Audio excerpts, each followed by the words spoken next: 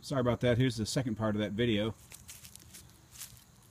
I found this pan at a garage sale today for 10 bucks. It's pretty corroded as you saw in the, a few seconds ago. I got a fire going here and let it get up to temperature real slow. And uh, it'll be a surprise what it is. It's underneath all that crud, whatever kind of pan this is. If it says made in Korea or, uh, you know, something like that, I probably won't hear this video. So hope it turns out good so you guys get to see this. Okay, woohoo! You guys get to see the rest of the video. I'll wait till it cools down to show you better, but still in the fire.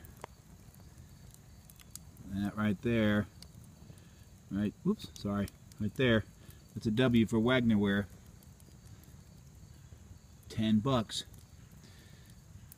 All right, going on the wall.